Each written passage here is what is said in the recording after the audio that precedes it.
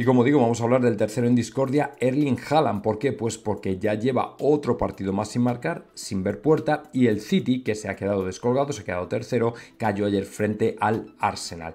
Puede ser que este tipo de sistema esté no beneficiando, esté perjudicando a Haaland y esto pueda llevarle a repensar su situación en el City a nivel de, oye, em, ¿estoy en el lugar adecuado para seguir creciendo o quizá ya esto me empieza a perjudicar? Es el momento de buscar alternativas. Pues sin duda alguna. Es decir, si ahora mismo Haaland entiende que él ya no puede crecer más en el City o que este tipo de sistema le empieza a secar o que el proyecto de Guardiola bueno, pues va a pasar por un bache después de haberlo ganado todo el año pasado, todo lo más importante, pues evidentemente esto, un jugador, un delantero que quiere seguir creciendo, que quiere seguir siendo el mejor, no tienes duda de que quiere seguir todos los años en la en la en la élite, en la cima. Y sin embargo lleva ya, me parece, son 3-5 partidos que no ha marcado, que no ve puerta, ¿vale?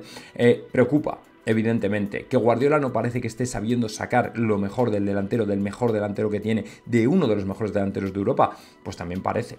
Entonces, ahora mismo, bueno, pues asaltan las dudas. Haaland, evidentemente, es un jugador que quiere seguir creciendo. Para mí, si este año con el City hay fracaso a nivel colectivo y probablemente individual, que vengan los dos de la mano, seguramente él intentará buscar una salida para el Real Madrid porque creo que es la pieza que nos falta. Es verdad que en este Real Madrid ahora parece que no falta nadie, no falta nadie, pues la sensación que da es que ganamos tranquilos y marcando goles, que era un poco lo que más echaba en falta. Así que bueno, es cuestión de ver y esperar un poco a ver qué pasa el resto de la temporada, pero más vale que estén atentos porque Haaland no es un jugador que se vaya a quedar un añito en blanco y ya está, y no pasa nada. Haaland es un tío que quiere ganar siempre y desde luego lo mejor que puede hacer es venir al Real Madrid pero eso ya queda en él un poco de lo que quiera, de lo que busque, de sus ambiciones y de todo. Pero desde luego creo que un año en blanco en el City, vamos a ver qué tal se esta, esta temporada, que no han empezado con muy buen pie, con este tropiezo del Arsenal creo que lo confirmo. Por cierto, hubo movida en el túnel de vestuarios entre Jack Grealish y Kylie Walker con gente del Arsenal, hubo movidón, pero bueno, no, no han querido desvelar por qué.